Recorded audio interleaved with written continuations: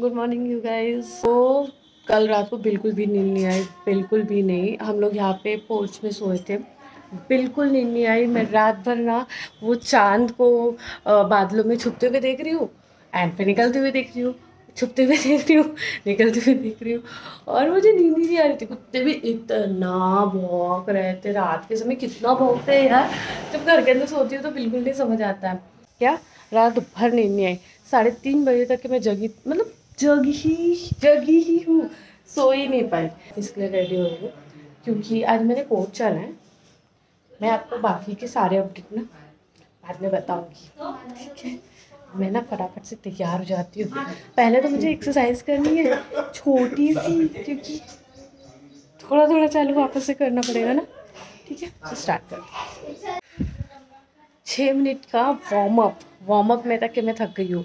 और काफ़ी दिन हो गए थे ना मैंने वो पावर योगा वापस से ट्राई नहीं किया। सीरियसली काफ़ी ज़्यादा इफ़ेक्टिव पावर योगा है वो। एंड uh, मैं लिटरली uh, मतलब मैं uh, तीन राउंड तो नहीं करती थी मैं टैग कर दूँगी मतलब डिस्क्रिप्शन uh, में डाल दूँगी मैं जो योगा करती थी। तो वो तीन राउंड तक तो मैं गई नहीं दो राउंड तक ही हमेशा करती थी।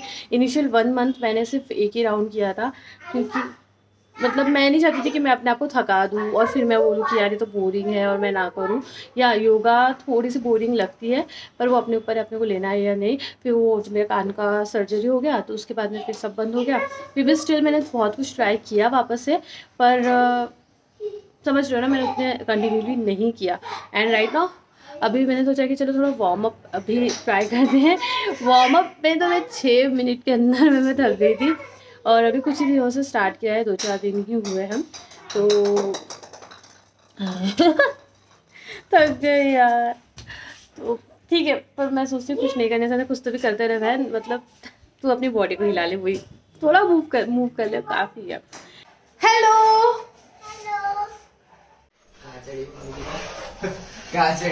मेरे घर का स्ट्रगल मम्मी का क्या बना रहे?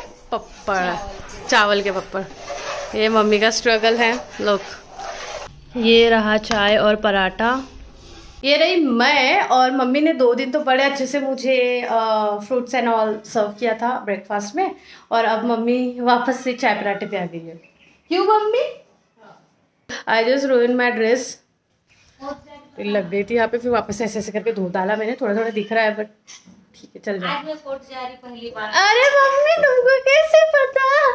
यस yes, मैं इसलिए इसको रिकॉर्ड करी सो so दैट मैं इसको मतलब कैप्चर कर लूँ। और फिर जब मैं देखूँ पहली बार मैं गई थी ऐसे करके यात्रा को अरे यार चेयर नहीं है क्या घर में? है ना? वो उस पर कुछ है।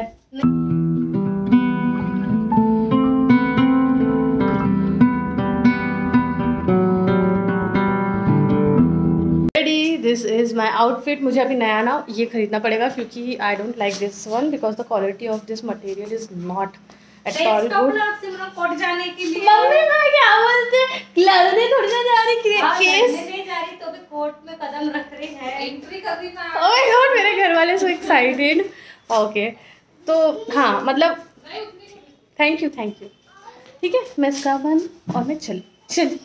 जस्ट पहुँची मैं अभी। एंड ओके okay, तो मुझे पता था कि ऑफ़ कोर्स मैं कोई वहाँ पे केस तो नहीं करने जा रही हूँ पर मैं सिर्फ़ वहाँ का माहौल देखने जा रही थी। यू you नो know, हमें कुछ प्रोसीजर वगैरह पता होती है तो कोर्ट में कुछ आ, क्या बोलते हैं रिकॉर्ड वगैरह नहीं करी मैंने क्योंकि यार ये सही नहीं है ना। तो इसलिए मैंने कुछ भी रिकॉर्ड नहीं किया और बेसिकली ना, उसके बाद भी मैं आपको पता चल जाएगा कि मैं वापस आ गई थी, क्यों वापस आ गई थी। यहाँ पे जो है ना, कोर्ट बैठने का ही था तो इसीलिए हम लोग वेट कर रहे थे। तो मैं ऑफ़िस आ गई हूँ, क्योंकि मुझे ऑफ़िस में कुछ इमरजेंसी डिक्टेशन था तो मुझे यहाँ पे आना पड़ा। एंड यार, मुझे बस एक ही चीज़ का है कि मैंने एक तो भी आर्ग्यूमेंट देख लेती, पर मैं एक भी आर्ग्यूमेंट नहीं देख पाई, क्योंकि जो है कोर्ट बैठने का था तो मुझे डायरेक्ट यहाँ ही आना पड़ा यार। ठीक है। और कभी सही पर मैंने पहली बार कोर्ट के अंदर का जो सिस्टम है ना वो देखा। मूवी जैसा बिल्कुल भी नहीं होता है तो काफ़ी अलग होता है। मतलब रियलिटी है और वो रियलिटी चेक मिल जाता है जब आप वहाँ जाते हो ना। तो अगर आप कोर्ट कभी जाओगे तो आप दोबारा वहाँ जाना नहीं चाहोगे। ऐसा लगा मुझे। ठीक है तो अभी आ, मैं अपना वर्क कर रही हूँ।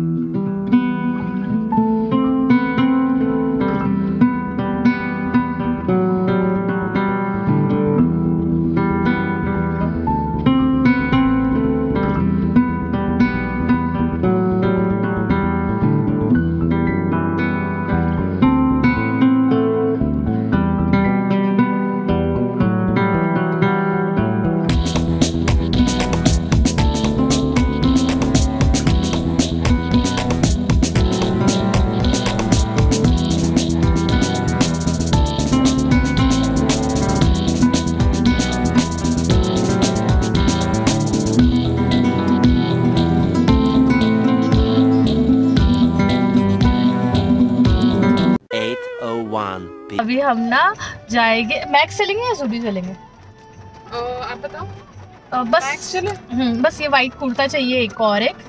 सो वहाँ चलते हैं। मतलब इसके पहले चला ही हो ना?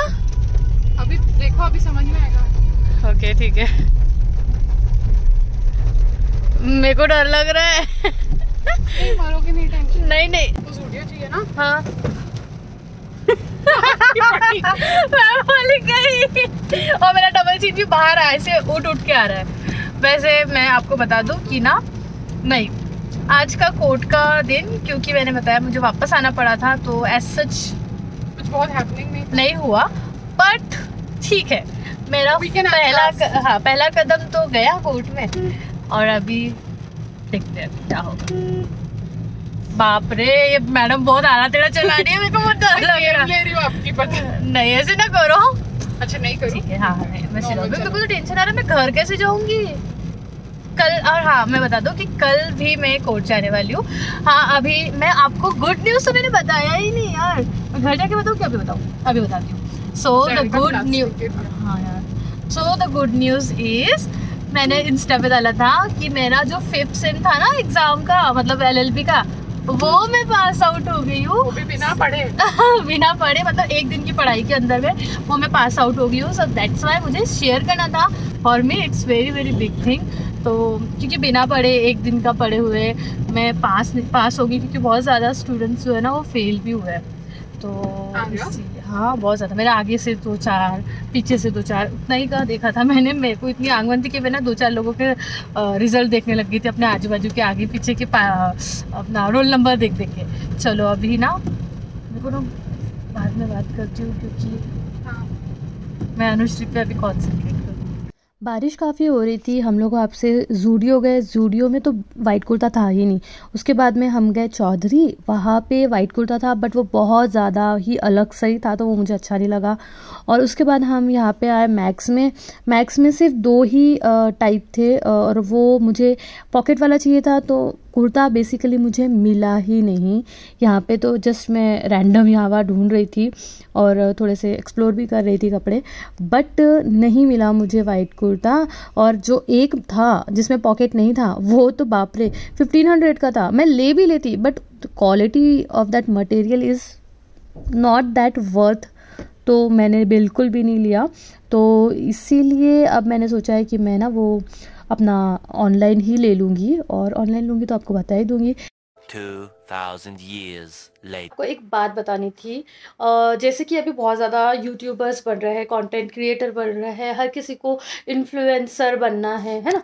ऐसा कुछ तो भी जैसे चल रहा है आजकल तो मैं आपको बता दूँ कि अगर आप यूट्यूबर हो या नया नया स्टार्ट किए हो या फिर यूट्यूबर नहीं भी हो तो भी इस फ़ील्ड में अगर कुछ भी कर रहे हो तो मैं बता दूँ कि ना काफ़ी ज़्यादा फ्रॉड चल रहा है। अब मैं आपको बताती हूँ ऑनेस्टली बहुत कम लोग बताते हैं बट बहुत लोग बताते भी हैं।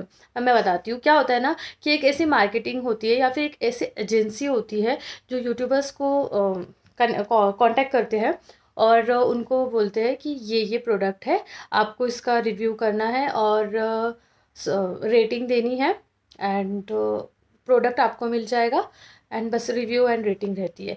तो मैंने भी किया है, मैं ये नहीं बोल रही कि मैंने नहीं किया है मैंने किया है, पर मैंने वो प्रोडक्ट किए जो मुझे लगता है कि ये मुझे होना, मैं इसको यूज़ करना चाहती हूँ ऐसे मैंने प्रोडक्ट्स किए हैं।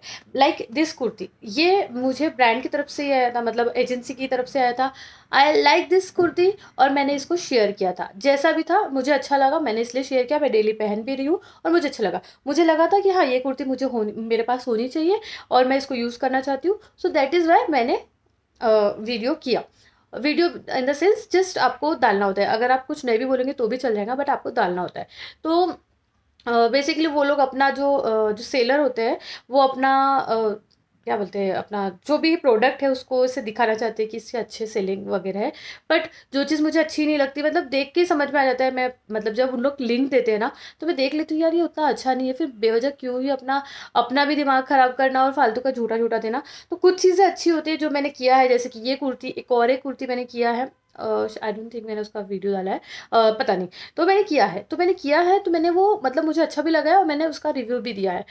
बट कुछ जो ऐसे चीज़ें होते हैं, जैसे कि मुझे यूज़ करना था एक बार वाइटामिन सी कुछ मैं नाम नहीं लूँगी। अब ब्रांड की तो गलती नहीं है एजेंसीज जो है एजेंसीज इस टाइप से हैंडल कर रही है, इस टाइप से उनको डील ही नहीं करना आ रहा है, जो वो लोग जो भी प्रोवाइड करते हैं ना हम लोगों को लोग तो वो बिल्कुल अच्छे से हैंडल नहीं कर पा रहे हैं। तो ऐसा हो रहा है। अब ये फ्रॉड है, नहीं है, ये मुझे नहीं पता। मैंने बहुत सारे लोगों, बहुत सारी एजेंसीज के साथ काम किया है, पर ऐसा एक्सपीरियंस मेरा सिर्फ़ ये पहली बार है। तो मैं आपको जस्ट ये बोलना चाहती हूँ कि फ्रॉड भी हो सकता है तो आप लोग बस अवेयर रहो।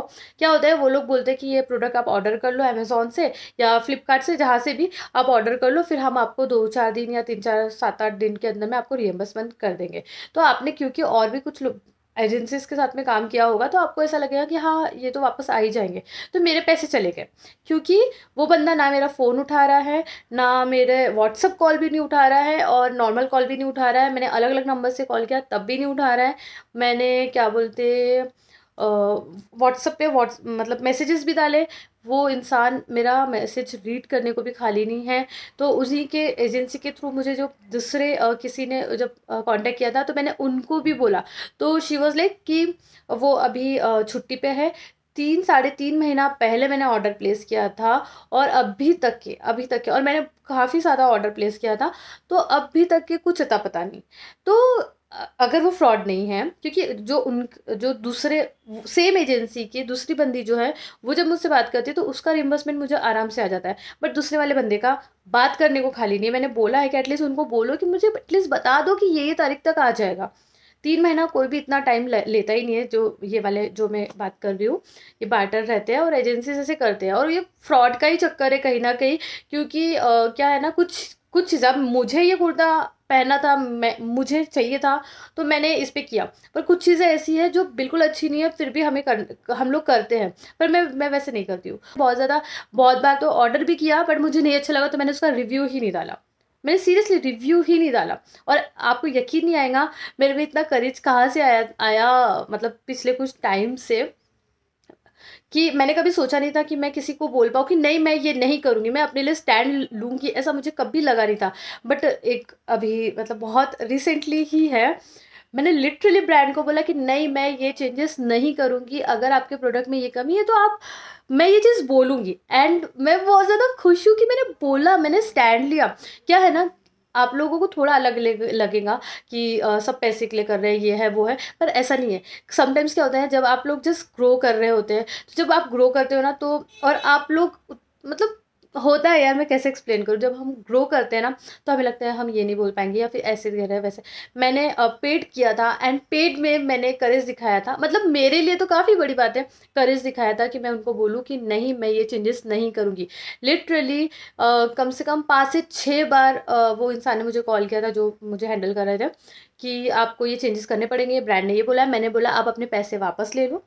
मैंने लिटरली मैं बहुत खुश थी उस दिन कि जाने पैसे पैसे गए तो चलेगा बट मैं, कुछ चीज़ें होती है कि आप तरीके, अपना तरीका चेंज करके बोल सकते हो बट जो चीज़ है ही नहीं, वो चीज़ मेरे को बोलना था ना, पता नहीं उसे मुझे क्या हुआ था, मैंने बोला, एक काम करो, आप पैसे वापस ले लो, मैं मतलब पैसे तो आने के थे मतलब मैं नहीं करना है प्रोडक्ट वापस ले लो, मैंने ये बोला था प्रोडक्ट वापस ले लो और मुझे कुछ पे भी मत करो बट मैं ये चीज़ नहीं बोलूँगी, क्योंकि वो चीज़ बिल्कुल ट्रिगर कर रही थी मुझे और वही चीज़ मुझे बोलना था।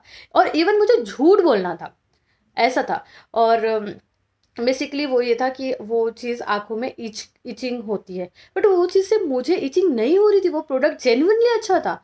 और मुझे दूसरे प्रोडक्ट के बारे में बुरा बोलना था। मैंने बोला, मैं नहीं कर रही हूँ। अब मतलब वो करेज मुझे जब से आया और मैंने एक दो बार भी ब्रांड को मना किया तो तब से मैंने सोचा कि भले मुझे पैसे नहीं मिलेंगे, चलेगा बट मैं कर रही हूँ, मैं अपना काम कर रही हूँ।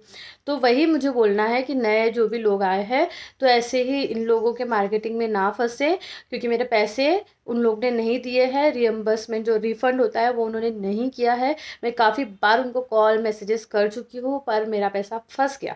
तो इसलिए मैं बोलूँगी, क्योंकि हमारा अगर पाँच सौ, हज़ार, दो हज़ार भी है तो मेहनत का कमाई है तो बिल्कुल भी इस स्कैम में या इसमें मत पड़ो। अगर आपको लगता है आप वो रिस्क ले सकते हो तो ही करो।